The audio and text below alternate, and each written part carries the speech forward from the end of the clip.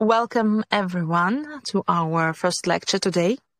And this will be a very unique uh, lecture because our speaker, Hilario de Sousa, he's a research associate at Center at the Linguistics Center of uh, Asia, right? Can I say it in English like this? East, A- East Asia, East Asia.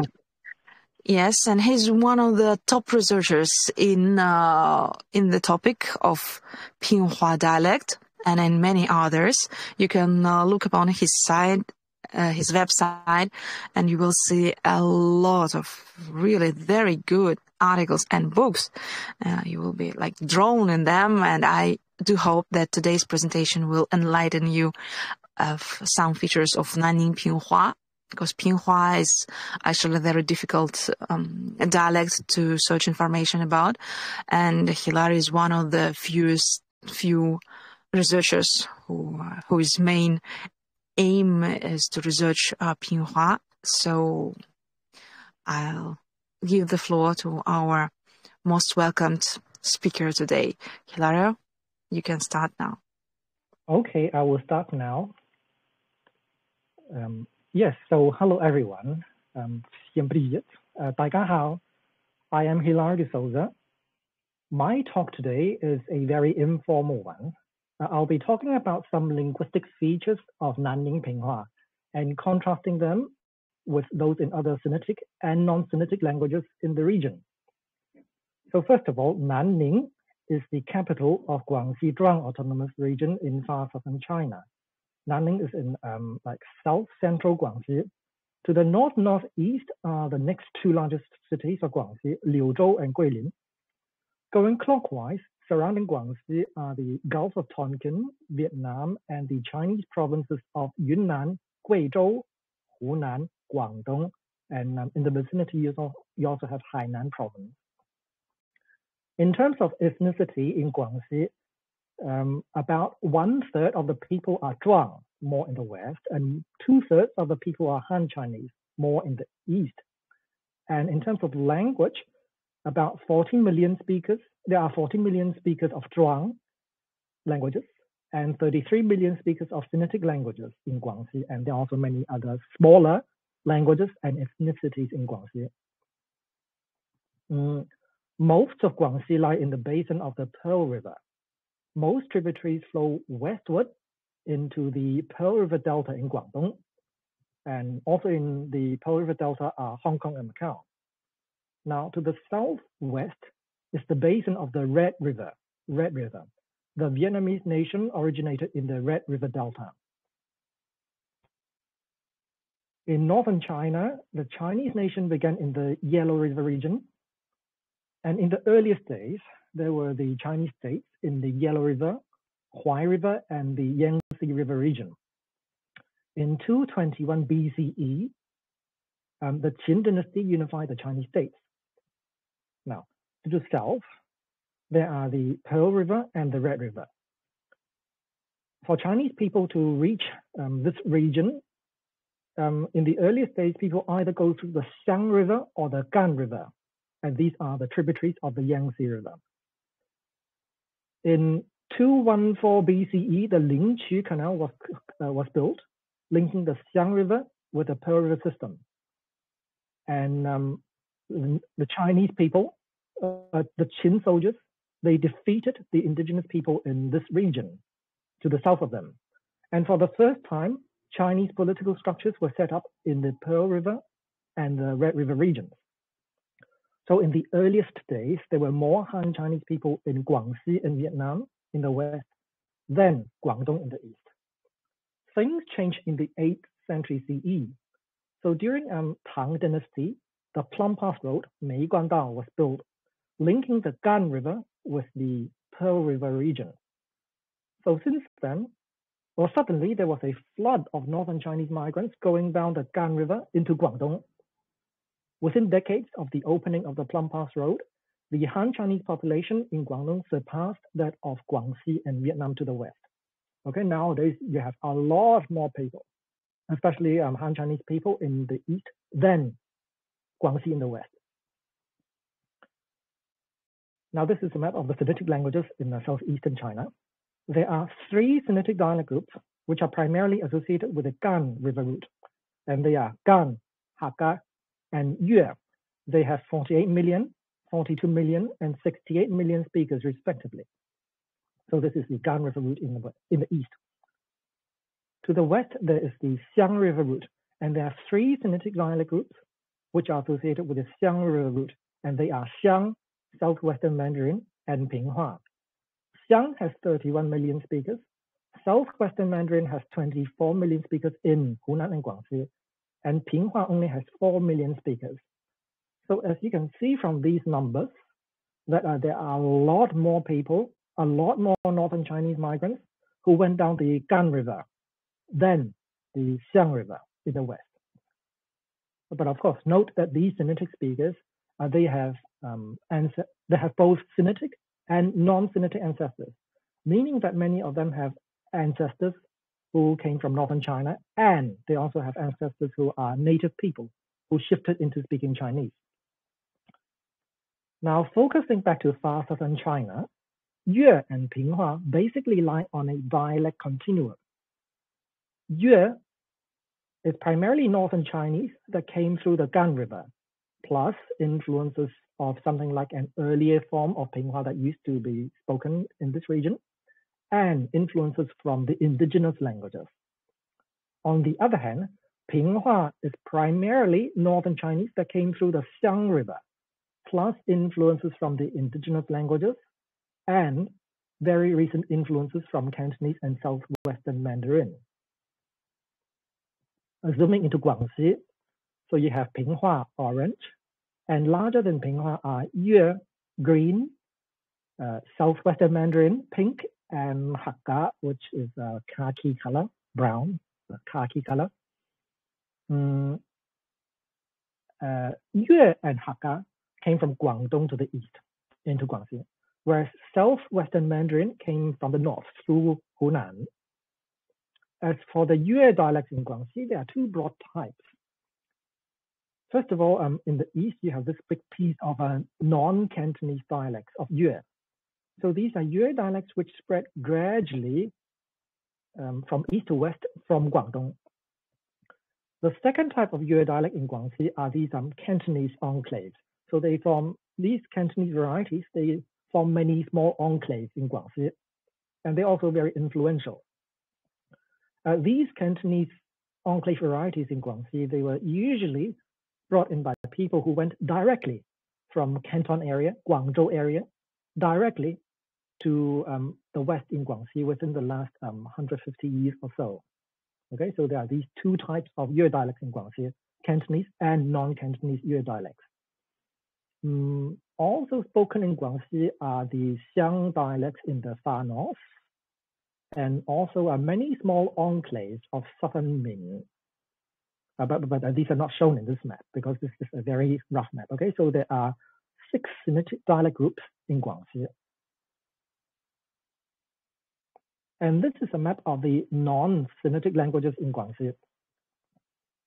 Uh, the green-blue color, most people speak a Kra-Dai language, uh, the largest of which are Northern Zhuang and Southern Zhuang. And they're also smaller um, Kra-Dai languages, primarily in the north. Okay, so these are the Kra-Dai languages. So Zhuang, the Zhuang languages, they are the relatives of, for example, um, Thai and Lao, okay, relatives of Thai and Lao. And um, there are also the pink, the Hmong-Mien languages.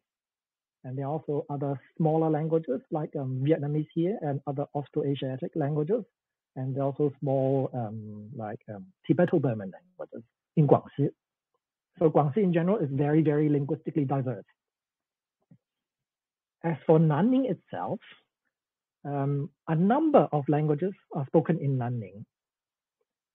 Schematically, in the city center, you have people speaking Nanning Cantonese, Baihua, white language, Baihua Cantonese. Mm, Cantonese speakers arrived from Guangdong within the last uh, 150 years or so. Well, actually, most of them arrived even later than that.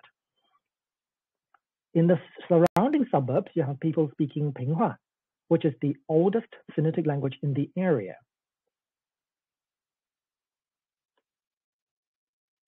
And um, there is also Old Nanning Mandarin, Old Nanning Mandarin, Yongzhou Guanhua, which is a type of Southwestern Mandarin, which used to be spoken in the city center, but then they have been pushed out by Cantonese speakers. And Yongzhou Guanhua, Old Nanning Mandarin, is now only uh, spoken in some villages. Further afield, in the uh, villages further away, you have speakers of Northern Zhuang and Southern Zhuang, and these are the indigenous languages. Okay, and covering all these languages now is New Nanning Mandarin or Nanning Putonghua, Nanpu, which is um, Nanning's localized version of modern standard Mandarin. Okay, so there are these six languages in Nanning, and well, people move around, and these languages they have all strongly influenced each other. So um, the Nanning Mandarin sounds slightly different from standard Mandarin, and Nanning Cantonese also sounds slightly different from standard Cantonese. Okay, um, as a little sampler, well, actually, I originally wanted to play you a video. However, I have discovered a um, technical difficulty, namely that uh, the sound wouldn't cast. So I will still show you the video, but instead, um, I myself, I'll do the voiceover, okay, in this video. So in this video, you have a little girl from Wutang, a village of uh, the town of Wutang, which is to the northeast of Nanning city center. She'll be speaking two sentences each in Northern Zhuang, Cantonese, Pinghua, Standard Mandarin, and Southwestern Mandarin. Uh, Northern Guangxi, uh, Northern Guangxi Mandarin, Guiliuhua. Uh, these are the five languages that she can speak. Um, things to look out for is that, um, firstly, Northern Zhuang. In Northern Zhuang, they have no aspirated consonants. So this is the stereotypical Guangxi accent. So when they speak Chinese, they typically turn, uh, for example, p into b, t into d, k into g, etc. Right? So for example, uh, 大片 becomes 大便, right? This is the accent.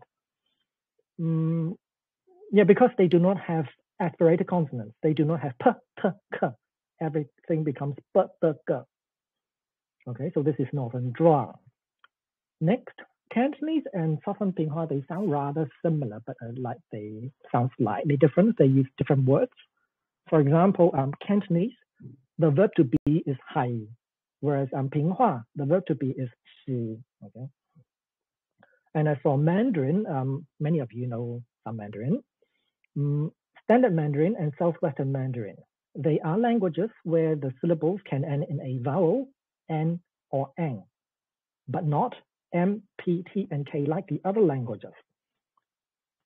And um, these two types of Mandarin, yeah, they have uh, use different words and they sound slightly different. Um, for example, uh, standard Mandarin, there are four tones. The four tones are ah, ah, ah, ah.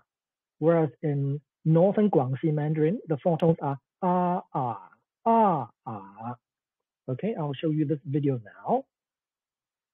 And I will be doing the um, voice over, okay? I'll start this video now.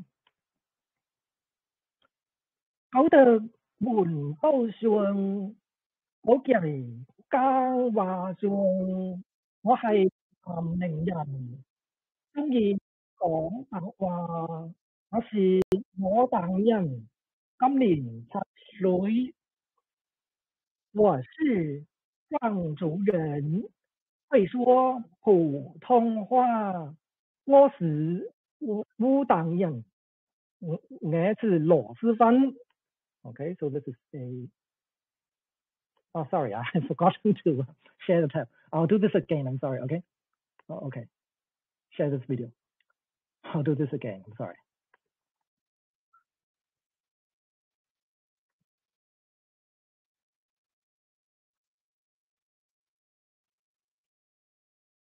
我度換都算 OK，教話上我係南寧人，中意講白話，那是我當人，今年七歲，我是藏族人，會說普通話，我是武當人，我是螺螄粉。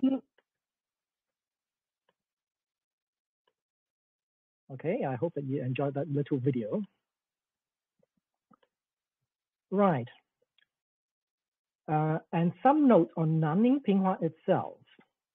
So first of all, uh, there is no standard variety of variety of Pinghua. People often switch to Cantonese or Mandarin or sometimes Zhuang when speaking to other people. Secondly, each suburb has a slightly different variety of Pinghua. Thirdly, my data primarily um, my data are primarily from the suburb of Weizilu, Weijilou, which is to the northwest of the city center of Nanning. Fourthly, um, facts discussed here do not necessarily apply to other varieties of Nanning Pinghua because, first of all, they are all slightly different. Uh, that is because um, they have different levels of influences from Cantonese, Mandarin, and Zhuang. Okay, so they are all slightly different. So um, we can have a look at the phonology. First of all, um, Pinghua is commonly divided into Southern Pinghua and Northern Pinghua. Nanning Pinghua is a type of Southern Pinghua. Southern Pinghua is relatively similar to the average Yue dialect. For example, they have a medium high to high level of conservatism with the codas of PTK, MNN of Middle Chinese. So uh, early Middle Chinese is about early Middle Chinese is about um, 6th century CE. The following examples of characters with the codas of P, T, K, M, and N. Okay, so these characters mean 10, 8, 6, 3, 1000, and 0. In early Middle Chinese, they ended in P, T, K, M, and N. Now, Southern Pinghua and Yue dialects, they are relatively conservative with these codas. So Nanning Weizilu Pinghua, 十 but look, some chin learning, right? So not 100%, but um, quite good, quite good in the preservation of these codas. Nanning Cantonese, sub but look, some chin ling, right? Perfect. I'm contrasting these with Mandarin. In most Mandarin dialects, they have not preserved P, T, K, and M. For example, Standard Mandarin now this is um, IPA, International Phonetic Alphabet. Standard Mandarin, 十八六三千零 and in old Nanning Mandarin, 四八六三千零 right? So um, in most Mandarin dialects, P, T, and K are dropped, and M has turned into an N, right? So um, Mandarin dialects are much less conservative in this front. So um, you have these two types of phonetic languages, which sound rather different. Next, um, unfortunately, originally I wanted to show you this video where they are speaking Southwestern Mandarin and Northern Pinghua, and more specifically Guilin Mandarin and Guilin Pinghua. However, um, yes, I told you I cannot cast the sound and yeah, I cannot do these languages. But um, I can show you a video where they are speaking Nanning Cantonese and Southern Pinghua, uh, meaning Nanning Pinghua. In the video, the woman, she speaks in Nanning Cantonese first, and then she switches to Nanning Pinghua when the interview starts. Um, I won't show you the entire video, but I'll show you like one minute of it, okay? And this time around, I'll remember to cast the video. Okay, you can see the video, hopefully. Yes, you can see the video. OK，I'll start this video now, starting with Nanning Cantonese. 我為者啱先我哋經生嗰啲望見有幾隻園林工人，佢哋係沙井人咧。誒，我同佢傾一下，係要平話嚟交流，嚟傾下誒嘅交講下喺啲工作嘅情況。咁就我哋過去問下睇過，到底佢哋喺啲做園林工人係幾多錢一個月？啊，福利又點嘅？啊，現在我哋過去傾一傾。嗰啲園林工人咧喺啲嘅雜草，咁正去何其傾傾下得咯？平凡啊，啊是哪的人啊？啊深圳人啊！沙陣啊，沙陣陣就出嚟抓啊！哎呀，沙陣又兜嗰度我二邊美字要撈個地嘛，嗱，問問幾兜咩？問幾兜啊？啊，你先拿的啊？我是我嗰陣時運動員啊，我攞親自拖領啊，嗯，咁你講話成你是講實話，是啊，講實話，深圳人啊，哦，你咁嘅一日幾幾多錢啊？啊，七百蚊啊，十八十蚊啊，十蚊兩三千蚊啊。嗯，雞時有條今日啊，啊啊嗰日七小時啊，啊嗰隻個鐘頭。Okay, I um, don't need to show you the entire video. Coming back to the slides now, uh, again, I hope you enjoyed that video. In Nanning Cantonese and then Nanning Pinghua, and again, uh, they sound rather similar. Okay, uh, these are the onsets. These are the initial consonants in Nanning Weizilu Pinghua and Nanning Cantonese. Nanning Cantonese has a distinction between sh and sh. On the other hand, Nanning Weizilu Pinghua does not.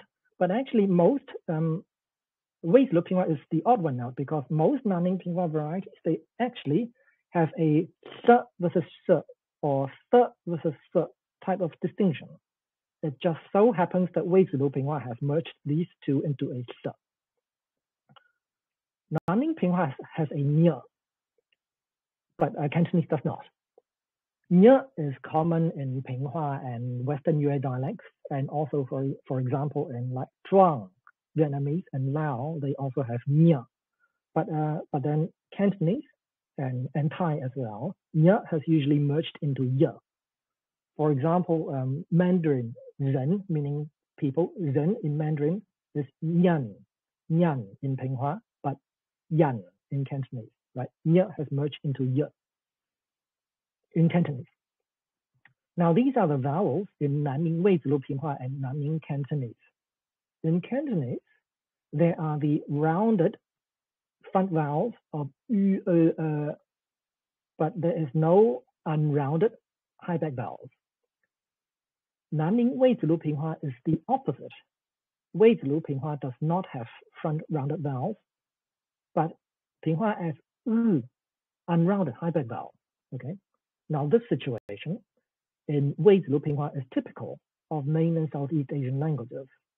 So most Pinghua varieties, most Zhuang varieties are like this. Right. However, there are some Pinghua and Zhuang varieties but, which are more like Cantonese, but they're in the minority. Most mainland Southeast Asian languages are like this, as in Weizilu Pinghua. On the other hand, uh, the situation in Nanning Cantonese is typical of Sinitic languages, meaning having rounded front vowels.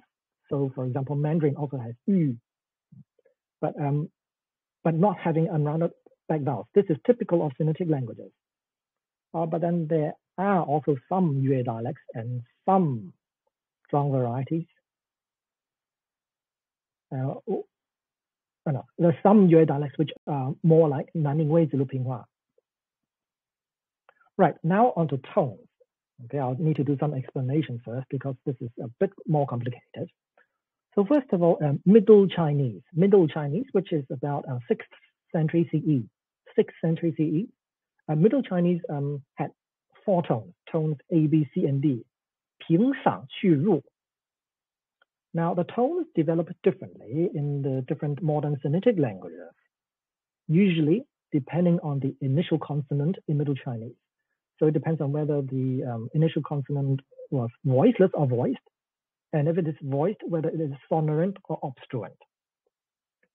In Standard Mandarin, uh, you know that Standard Mandarin has four tones, but they develop from the tones of Middle Chinese like this. So tone A of Middle Chinese became ah ah. Tone B became ah ah. Tone C became ah. Uh, tone D is uh, complicated, and we'll talk about that a bit later. Nanning Weizilu Pinghua has seven tonemes, and Cantonese has six tonemes. And I'll just demonstrate six of them. In Nanning Weizilu Pinghua, these six characters are fun fun, fun fun, fun fun, corresponding with Cantonese fun fun, fun fun, fun fun. So you can hear the upper tones are slightly different between Pinghua and Cantonese, but the lower tones, they are um, similar enough. Fun, fun, fun, fun, fun, fun. The upper tones are quite different. Fun, fun, uh, fun, fun, fun. Whereas Cantonese, um, corresponding with Cantonese, fun, fun, fun. And also, by the way, these six characters in Mandarin are fun, fun, fun, fun, fun, fun. Mm, looking at Weizilu Pinghua, they uh, they have two upper tone Cs, depending on whether the initial is aspirated or unaspirated. So for example, poi, boy, they have different tones because poi begins with p, aspirated. Boy has an initial consonant which is unaspirated b. Cantonese has no such distinction. Uh, Cantonese and Mandarin have no such distinction. So pui, bui, same tone. Pei, bei, same tone. Now, actually, this distinction in Weizi Pinghua is actually just a um, local phenomenon in northwestern Nanning. Most Nanning Pinghua varieties uh, do not have this, so they have only six tonemes like Nanning Cantonese. I'll talk about tone D now. Tone D in Middle Chinese means that the syllable ends in an obstruent. It ends in a P, T, or K. In most Yue dialects, including Cantonese, in Pinghua dialects to the east of Nanning, and also the Dai and Kam-Sui branches of Kra-Dai family, it is very common for tone D to split based on whether the um, vowel is long or short. Okay, tone D long vowel, tone D short vowel. For example, um, the characters for, for seven and eight in Cantonese they have different tones. Tat ba, tat because tat has a short vowel, ba has a long vowel. The same happens in Zhuang, Northern Zhuang, bad, because bad has a long vowel, sub has a short vowel. Now this does not exist, this does not happen in Nanning Pinghua. The characters for seven and eight, chap, ba, they have the same tone. So Cantonese chap, ba, different Pinghua, chap, ba, they have they, they have the same tone. Um, this trait of um, splitting tone D based on vowel length um, does not exist in other Sinitic languages. So, for example, Mandarin, qi ba, same tone. Old Nanning Mandarin, qi ba, same tone. The same thing happens in Sino-Vietnamese, thut ba, same tone. What Nanning Pinghua has instead is a division in lower tone D and this is based on whether the initial consonant is historically a sonorant or obstruent. For example, the characters for 6 and 10 in Nanning Pinghua, they have different tones. Lop, sub, different tones. Lop, sub, lop, because the initial consonant is sonorant, l, and sub, because the initial consonant is s, Okay, different tones. Standard Mandarin also makes such a distinction, like liu, shi have different tones. Now looking at tone chart of Standard Mandarin, um, most Mandarin dialects, they make a distinction like this in tone D, liu, shi. On the other hand, Cantonese does not do that. So the characters for 6 and 10, lo, sub, have the same tone. So lo, sub, Pinghua, different tone. Lo, Cantonese, same tone. Old Nanning Mandarin also does not have such a distinction, right? Old Nanning Mandarin as a type of Southwestern Mandarin does not have this distinction. So Lu, Xi, they have the same tone.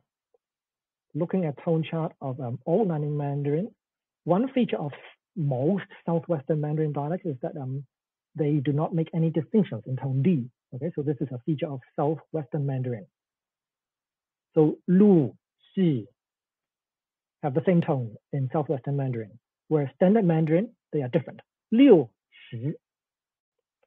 And um, Sino-Vietnamese, uh, uh, by the way, Sino-Vietnamese means the Chinese loan words in Vietnamese, okay? So Sino-Vietnamese, um, there's similarly no distinction. Lu,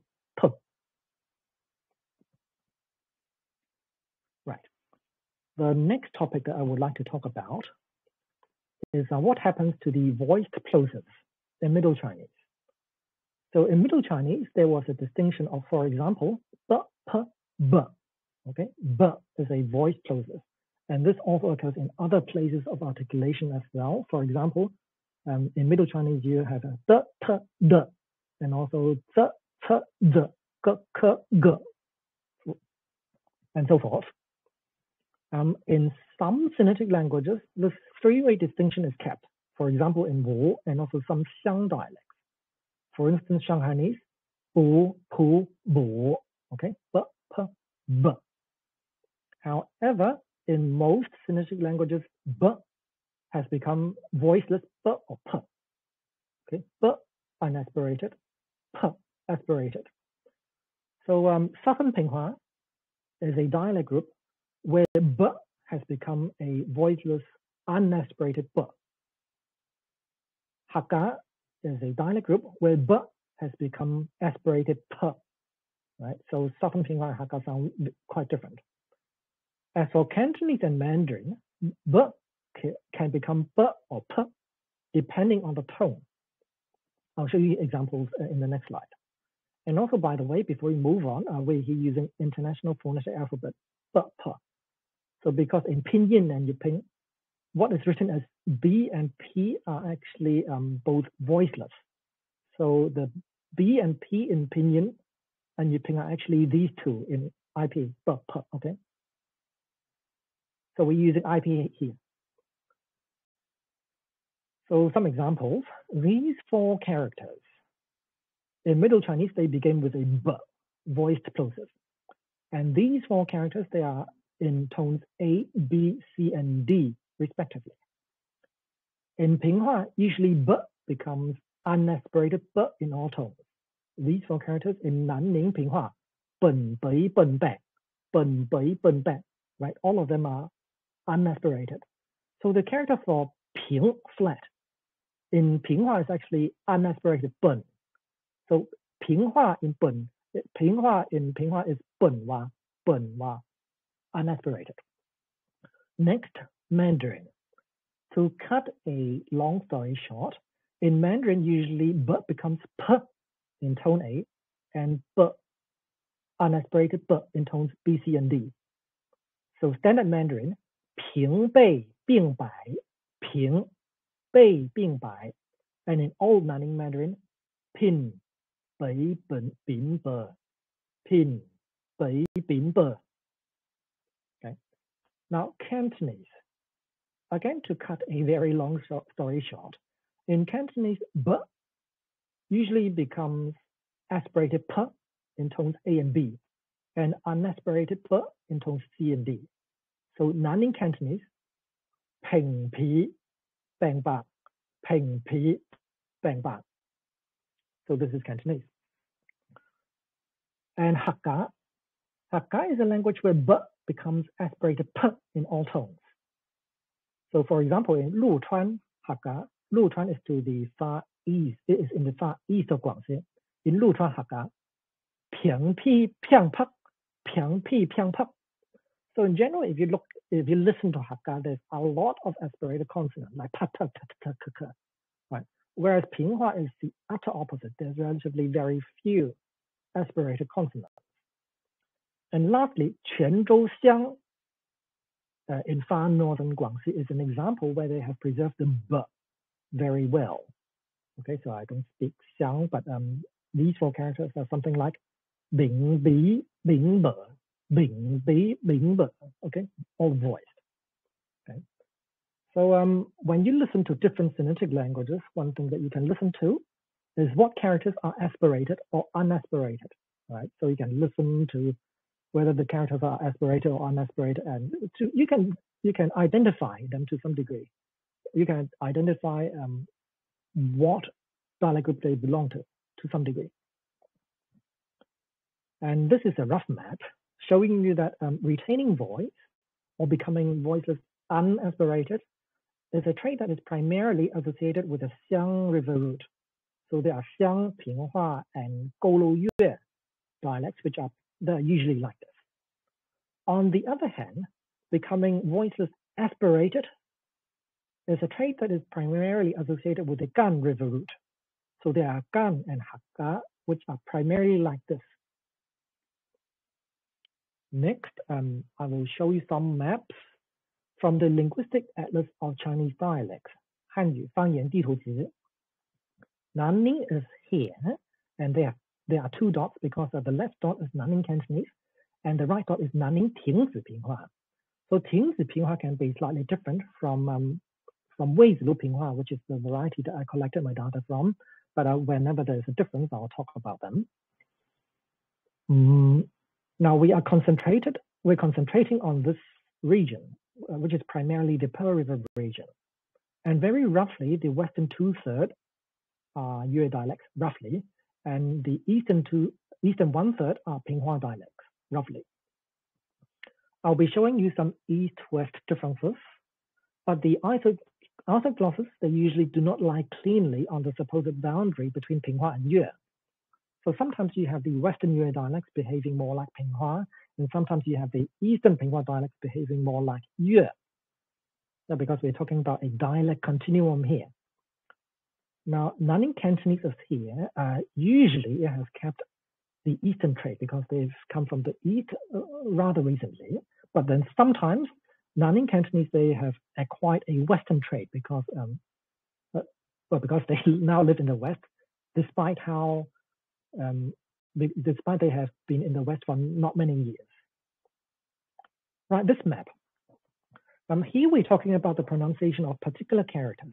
And in this map, we are looking at the pronunciation of the character B, meaning nose. The black dot, the black dots are nose in tone D, and the red dots are nodes in tone C. Nan Nanning Pinghua is a black dot. It has the tone D version, but right, tone D, but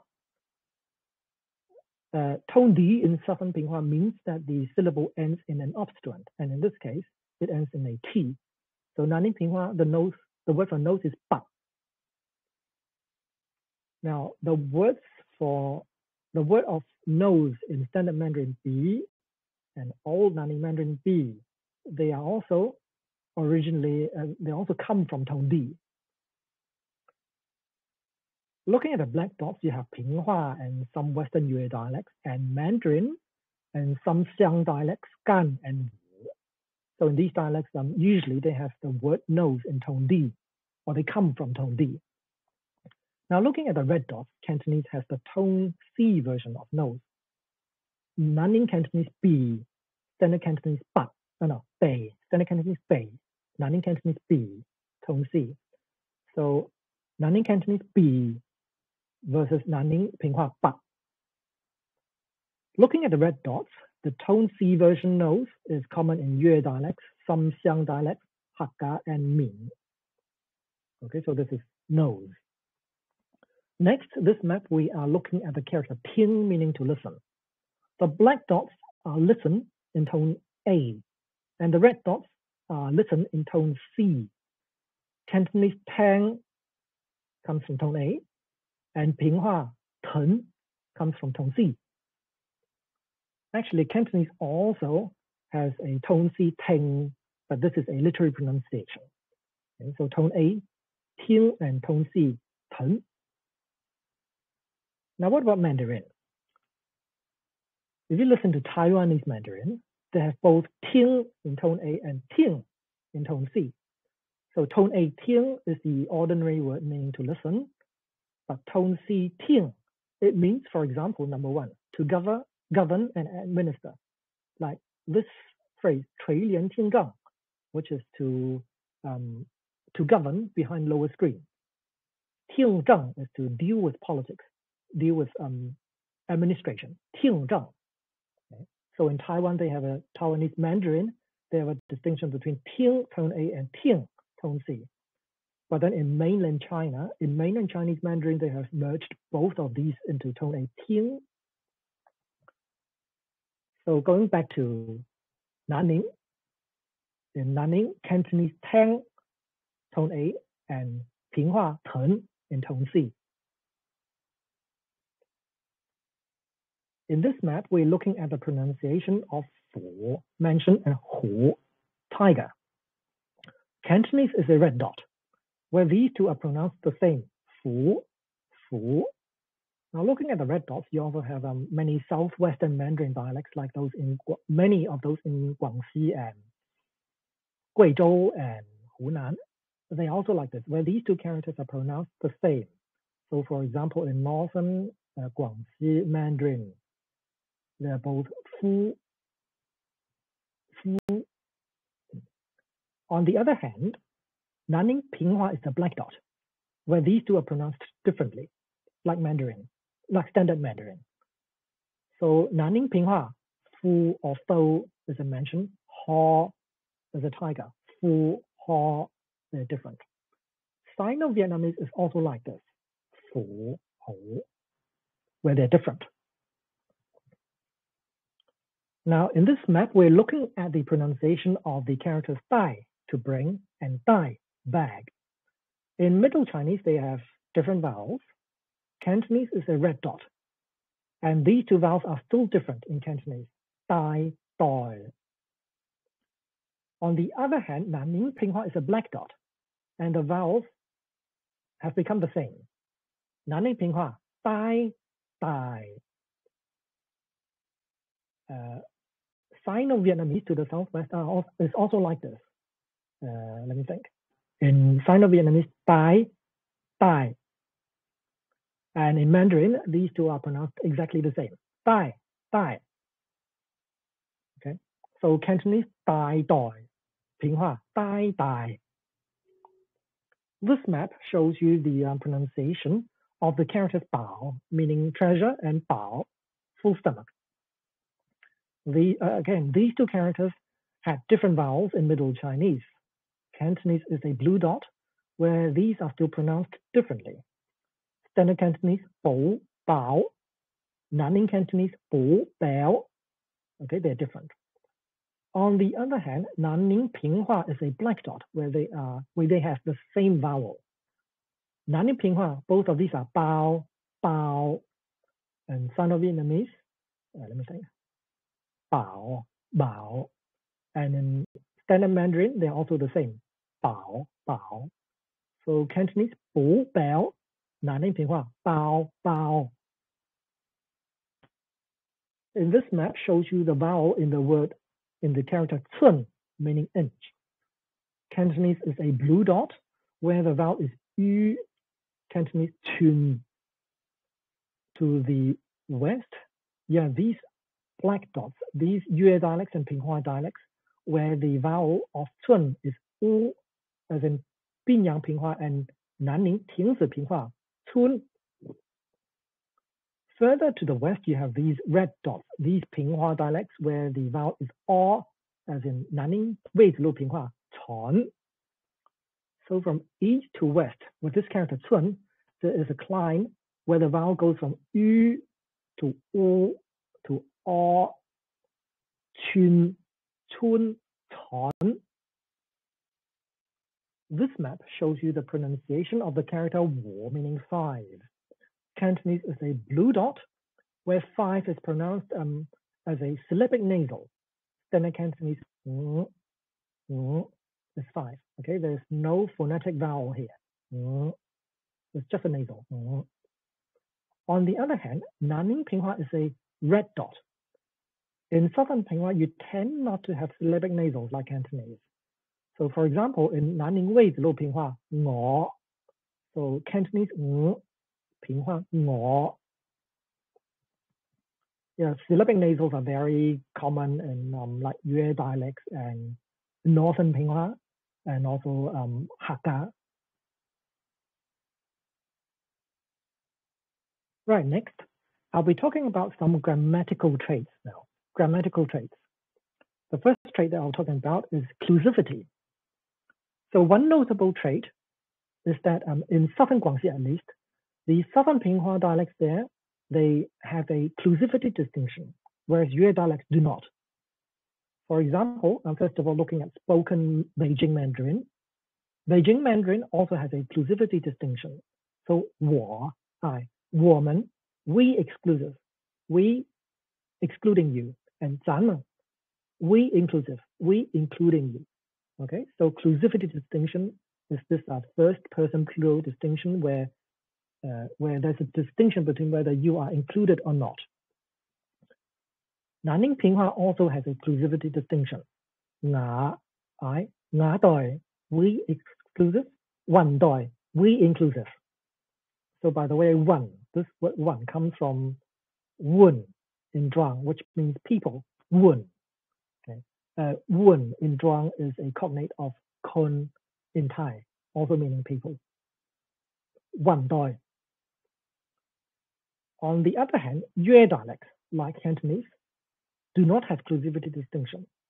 So Nanning Cantonese, ngo, I, ngo di, we. So ngo di does not distinguish whether you are included or not. Uh, these are just some other examples of Pinghua dialects where they also have a clusivity distinction and other nearby Yue dialects where they do not.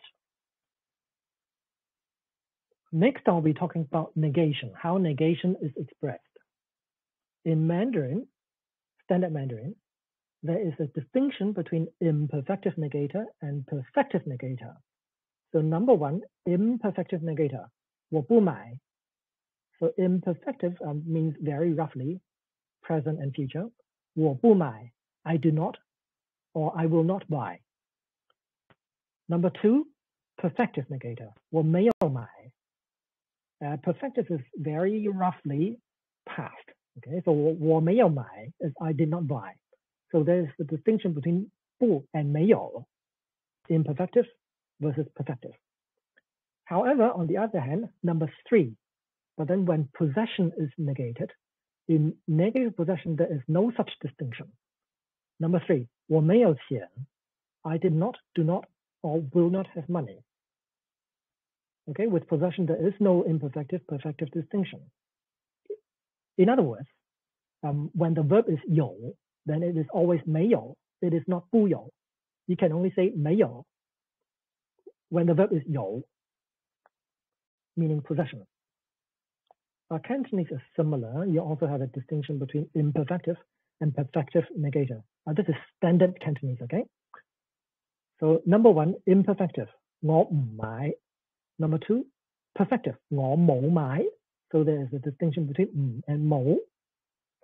Now, as for number three, negative possession. In Cantonese, to say not have, you say simply 冇.我冇钱 is I did not, not, I will not buy. I will not have money. Negative possession is 冇, so simply 冇, not 冇有 or something like that. Now, however, Nanning Cantonese does things differently. Nanning Cantonese um, uses a pattern that is very common in Guangxi, which is that there is no distinction between one and two. There is no distinction between imperfective and perfective negation. So um, Nanning Cantonese, one and two, 我冇买 is I did not, do not, or will not buy. So standard Cantonese in the East has a distinction between m and mo, which is Mandarin bu and meiyao.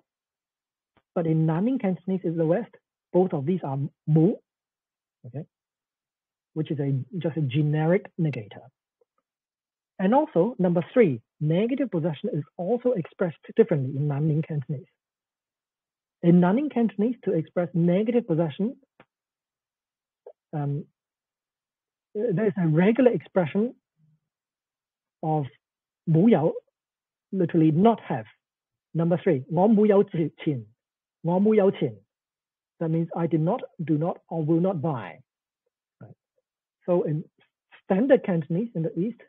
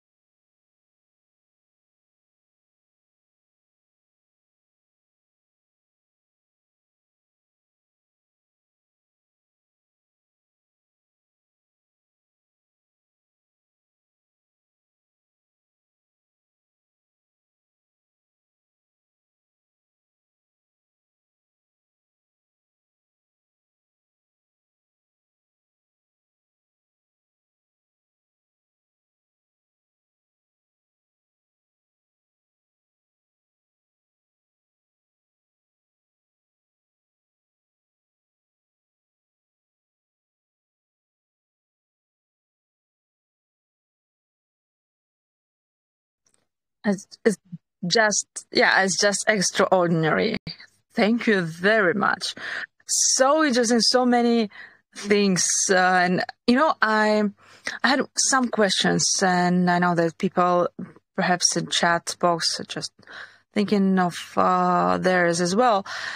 Уважаемые участники, пожалуйста, не стесняйтесь писать сейчас вопросы. У нас есть редкая возможность пообщаться со специалистом по пинхуа и по кантонскому, и, в общем, по всем, на самом деле, диалектам, которые есть в этом регионе. Поэтому не упускайте вообще любые вопросы абсолютно в чат. Очень жду. 呃，对，呃，我看了，嗯，就是呃，哎， 很难说，可能是因为，I'm sorry, can I? What language should I speak? Chinese or English?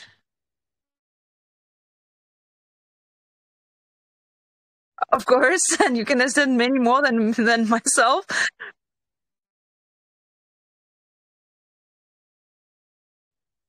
Okay. Okay, it's just for me. It's uh, it's like an automatically uh, to speak uh, Ch Chinese. Okay, uh, I'll try English today. OK OK，呃，没问题。呃，是这样，我看了，呃，比如说最后一个，你说，呃呃，是不是南音平话？他们说是，就是那个，嗯，那个那个普通话的是，就是说知道那个。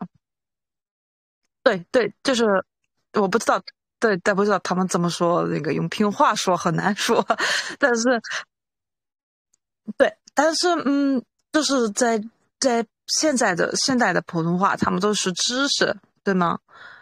这个呃是现在用，但是用的，就是我我我有我有感觉不是单独用的，对吗？没有没有，对他们是不是就是嗯，像这样的例子，就是表示嗯，南印平话保留更牢的那个状态，也没有什么什么变化，是不是？但，是。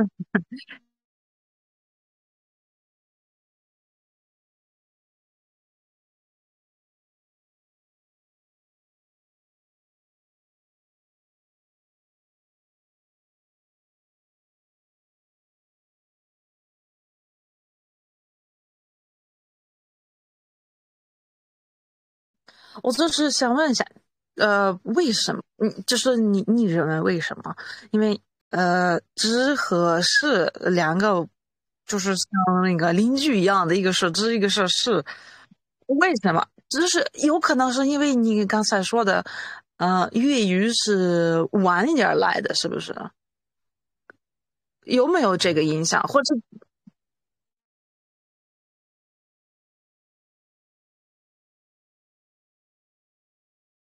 啊，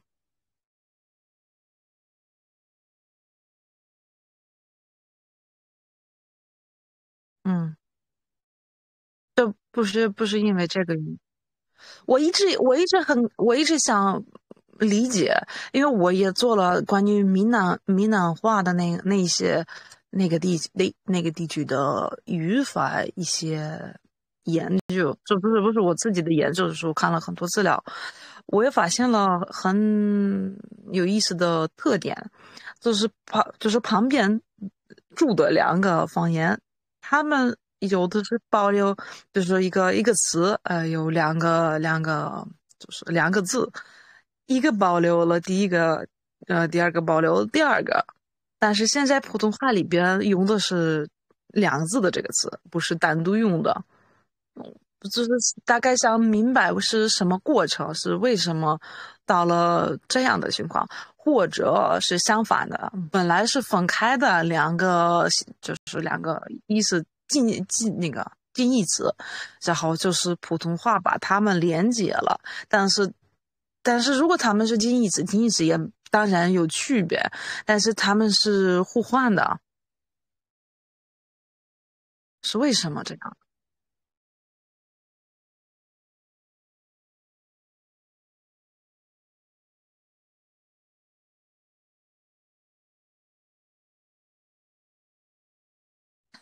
对对，这个这个昨天是的，是的，这个昨天我们一个发言者已经提出来了，就是南方的方言更喜欢单独词，北方的更更喜欢呢两两个字的那样的词。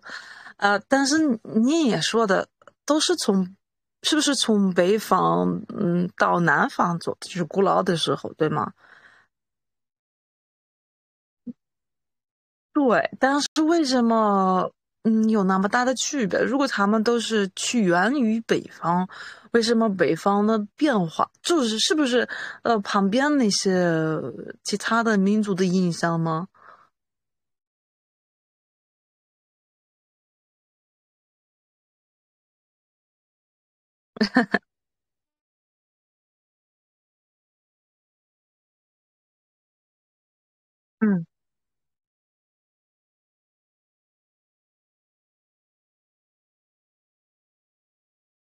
うん。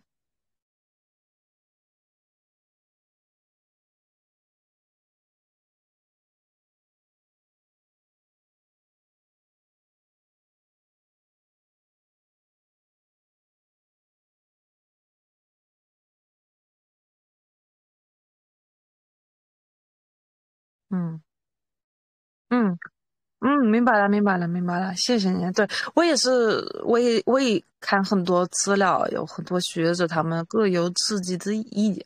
我就是继续研究这个问题，因为我们嗯、就是给学生介绍现在的普通话里边的是词是里边两个字的有什么之间有什么关系。我经常从不同的方言提出不同的例子，就是想给他们呢介绍一下。现在的普通话和嗯，就是以前的那样的汉语和现在的方言有很大的区别，但是他们都是起源于一个一个地方，可以这样说。呃，就是关于您呢讲的那个平话，就是我真的我我一听，对有区别，但是你怎么能呃说的很清楚？对我来说是一个 miracle。I I can say it's so difficult phonetically. Uh, but uh, doesn't they they merge with each other? Just for example, as time going, they are living next one one by one next had they this merge relationship? Like, I mean, uh, Pinghua, I mean, Nanning Pinghua from Man- Nanning Cantonese.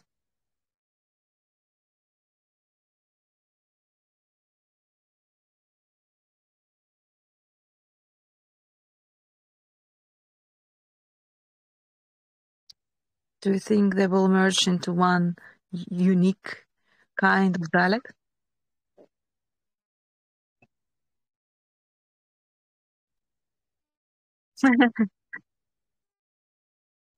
Okay, I see. Okay, uh, welcome, uh, our dear, how to say it, um, audience, uh, to ask your own questions. Uh, perhaps any one of you have their own question?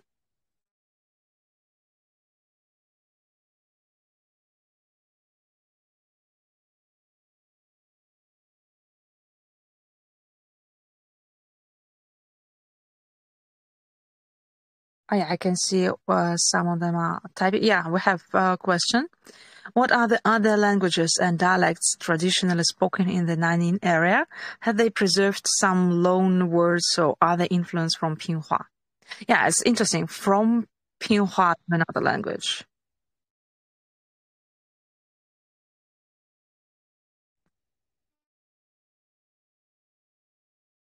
Yeah, yeah.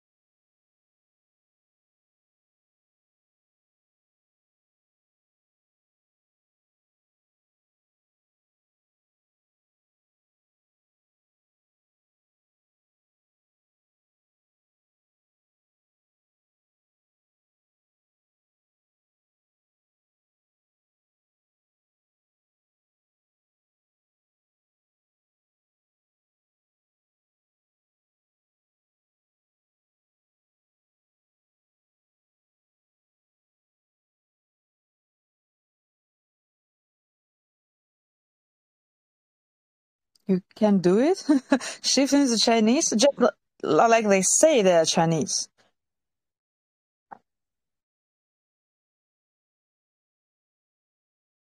Mhm.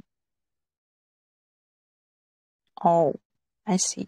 And, and I remember some years ago you told uh, uh, about the situation, economical situation in this area, and how uh, those who speak of Pinghua, they are now those who have uh, money because they are landlords of some sort, and how it's uh, more and more popular to speak Pinghua.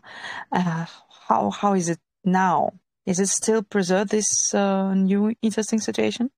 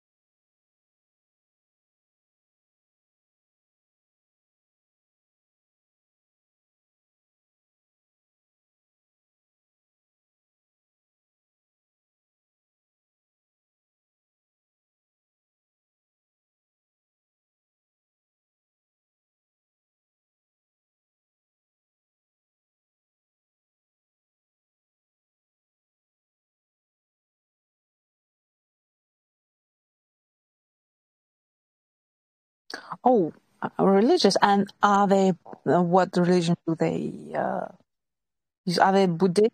I'm not sure.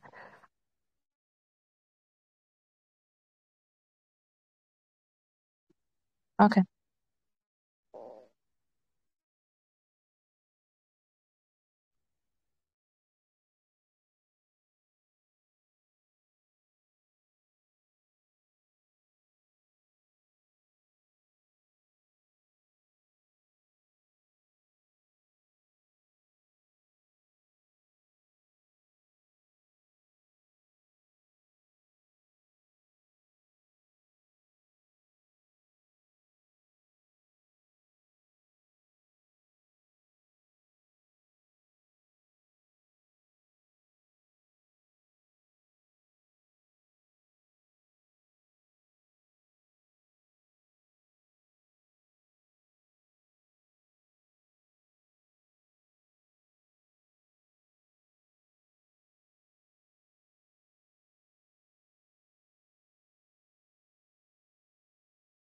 Well, it's, it's so interesting because, you know, uh, under such an influence of other uh, dialects and languages and cultures, of course, Pinghua people, they can preserve not only language, um, but also their uh, culture. It, it it goes deep into the centuries, right? Their shamanism.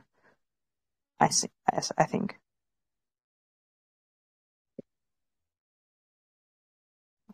Okay, we have another question.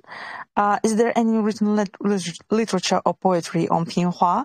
If there is, what would you suggest to read or listen to learn more about Pinghua dialect?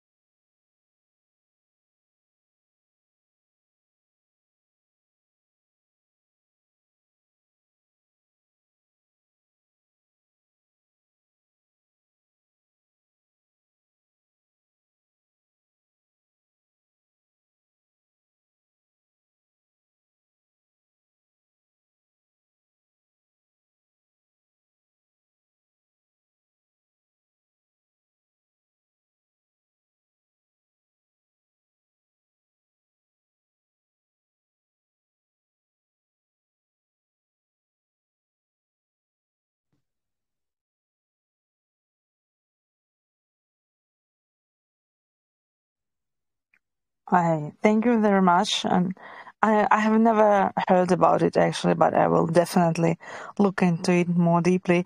And perhaps next year you can tell us more about the cultural uh, tradition because you know it's it, it closely related to language and it's uh, very very interesting because here in I think in even in English there are so few materials about Pinghua. Is it? It's like yeah.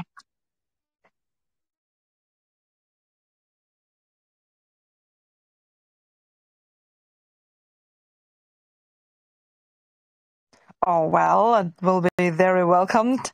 I think when you finish, and, and yeah, you mentioned about uh, the um, corpora, right? From which you have extracted the um, examples or not? Yeah, are those from videos only?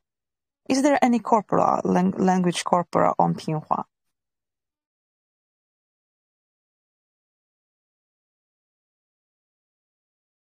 Oh, that's that's great. That's great. I, if, if anyone if anyone asks, I will uh, point them that there is only one man who has it. but it's it's uh, it's difficult to find uh, so, some language corpora on dialects, even for those who are widely speaking. But for Pinghua, it's uh, something very difficult. We have another question here. Does the language of the migration population, Liu Mi, of Pinhua people affect other dialects? Are there any such studies?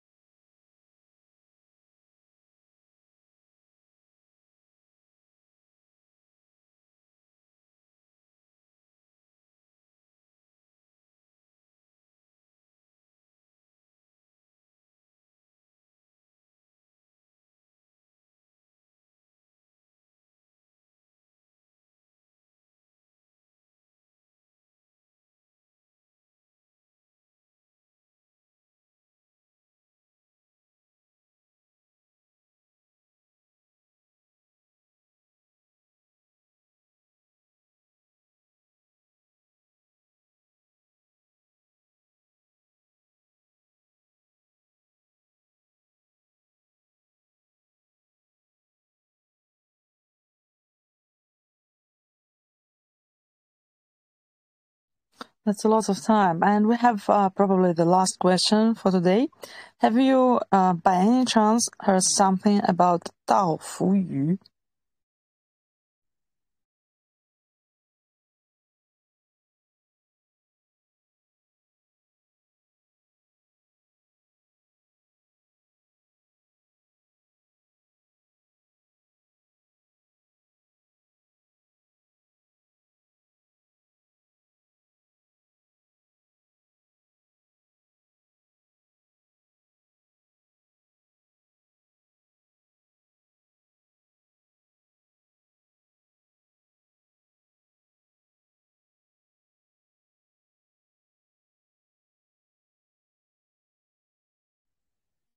I will give them some time to type.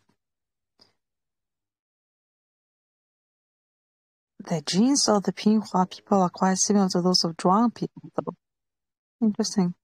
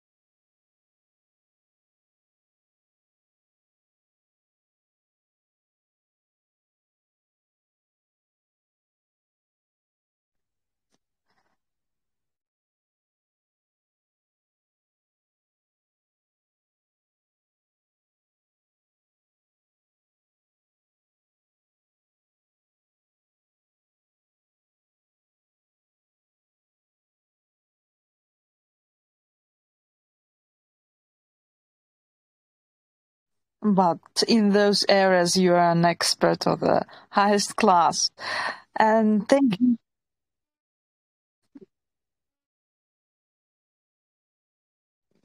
Uh, have you have you done your research there? Of course, on this in this area. I mean, I mean field research. Yes, yes. Have you done field research there? Of course, you have. Mm. And have you have you ever uh, um you have been working with different generations of people, and do you have any um feeling that um, the youngest generation is like you know uh, forget uh, about their language or they don't want to speak? It sounds too rural, perhaps. Have this have does they have this you know internal feeling that? Uh, it's like too suburban to talk. Let's talk uh, Mandarin, perhaps.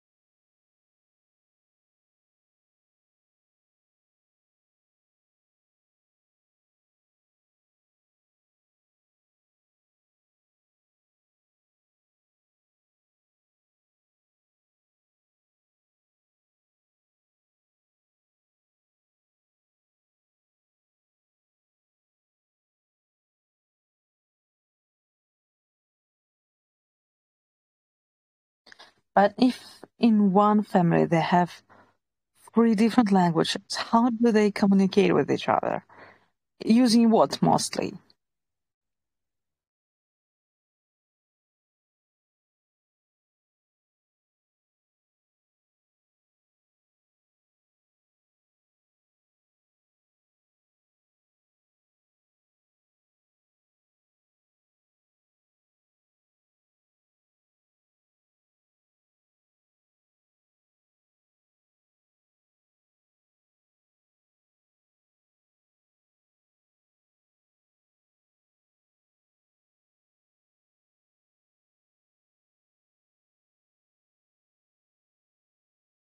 Well, that's um, interesting, really. Like in in one place, three generations, three different languages. Uh, and why does the why does the second generation speak uh, Nanning Cantonese, but not the language of their parents of Pinghua? Because of the economical situation?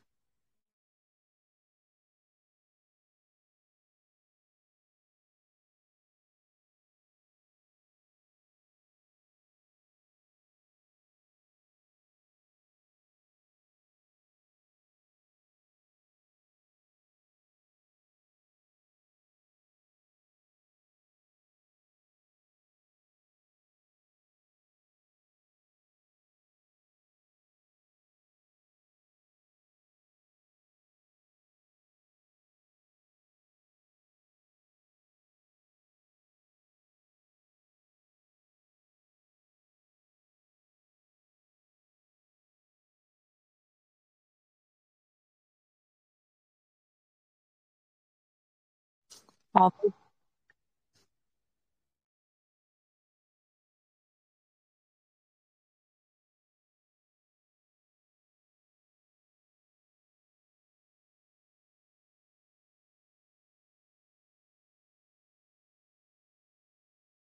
That's a very interesting language situation uh, there in such places. And in, in Russia, just, you know, it's uh, difficult to, for us, for many places, to understand how it is like you don't speak uh, the language of your father and mother because we um, we we speak uh, if we are Russians and we speak Russian language. Well, perhaps not very good, but uh, we speak all the same language. And if we are minorities, we certainly understand and mostly speak uh, language of our parents. But of course, at school, it's uh, Russian uh, everywhere.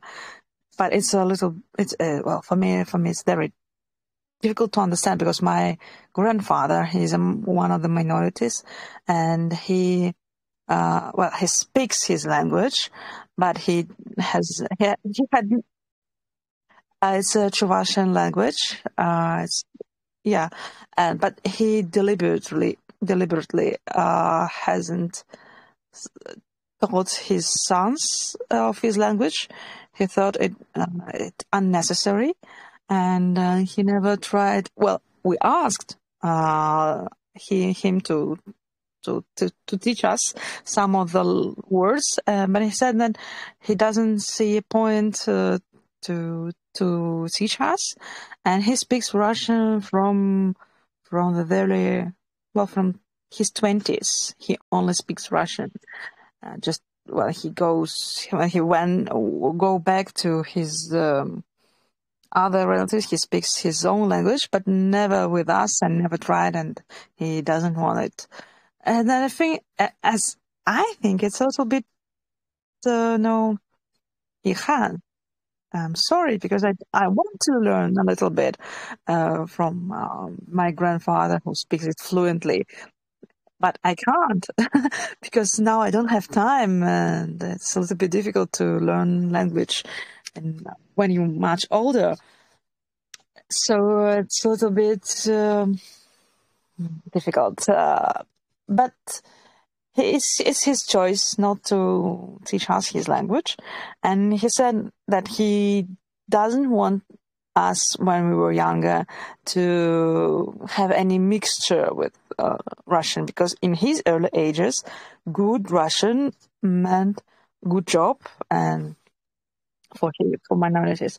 And I can understand that perhaps it's the same uh, for those uh, in China that speaking standard Mandarin. It means good job and, you know, like passing as your own kind of people. Uh, like no difference in language means uh, you are the same. It's sometimes socially understandable. And um, yeah, there is a dialects. They, they, they, uh, okay, they will discuss some things later. Uh, thank you very much. It was a very interesting, very throughout uh, discussion, and uh, every time is a great pleasure and a lot of things to learn. And um, yeah, I, would like to ask you about the um, um these pictures. Uh, they with dots, with dots. They are all from the um, how to say it 嗯，语言就是那些那些图片都是来自那个那个叫什么？那个金？Yes, yes, yes, yes。对对对对对。Two thousand and eight, and can you appro can you use it online or you have to buy it? I'm not quite sure. Oh, okay. Oh, I see, I see. And do you know any materials that we can uh, use in our self studies of uh, Chinese dialects, perhaps some data centers or, I don't know, atlases? So, what will you recommend?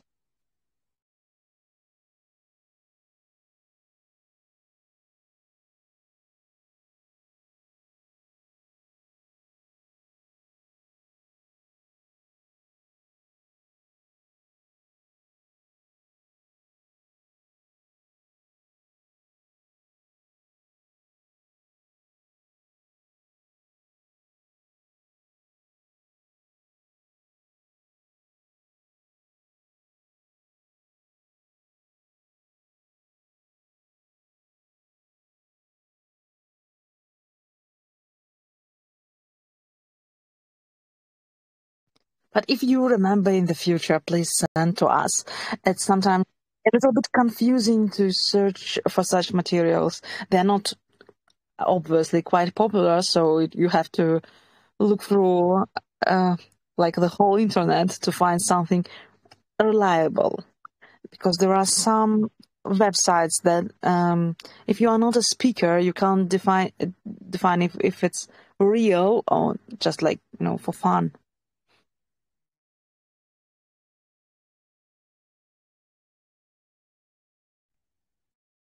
So it's uh, I saw this atlas uh, like in a book cover, but it's rather the big one, and you know, and I have always yeah, I always uh, thinking like, okay, next time, probably next time. But when the pandemic came, and I understood that, uh, well, perhaps it's better to have it, because never, you never know when you will need it, and there will be no, uh, no way to have it, to, to buy it, or I don't to download it, something like this. Okay, thank you, thank you very much, and I hope you will stay with us uh, for uh, for the duration of the festival. Marjorie today uh, wrote to me that uh, she she has already finished her presentation, and will be yes, Yes, me too. And I, uh, I think because of the time difference, perhaps she's not, uh, doesn't have an opportunity to be here with us. Probably on lessons time, I think. Yeah, but we will have uh, this uh, recording for the duration of the festival. So I hope everyone who ha- couldn't attend today will listen and watch it later. Thank you very much. And I do hope that you will, you will, uh, sorry, glitch, uh, that you will share more information about Pinghua dialects next year with some new information and perhaps your book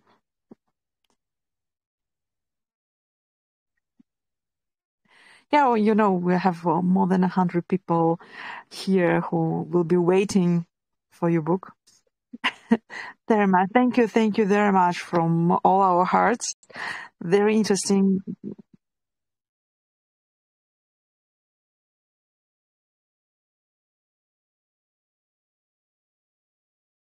That's great. And I do want to tell everyone that we have, uh, we will start a competition. And uh, Hilario de Sousa will be one of the experts. It's an honor to us, and I think it will be a great honor for those who will participate in the in the competition. And the great start will be on the last day of the festival, like to, you know, to finish it with a great new competition that will last for a year. So I do hope that you will share some more things with us, with our comp- competitors uh, during the year that will lie ahead of them. Thank you very much again.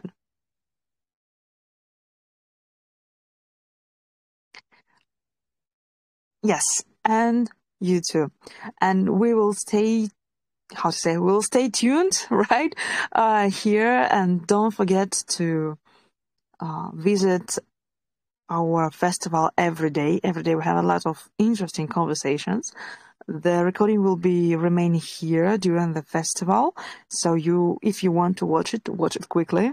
There are only seven days left and this chat box will be working uh, from today until the end of the times or end of the telegram uh, so you can put your information your web links or ask questions anytime you want you know we're actually when we started promoting this year festival. Some of people they entered last year festival and they are watching and um, reading information from the last year. Uh, very very interesting that we're still in this process of learning um, dialects and looking through all this information. So thank you very much for compute for your contribution to this great course.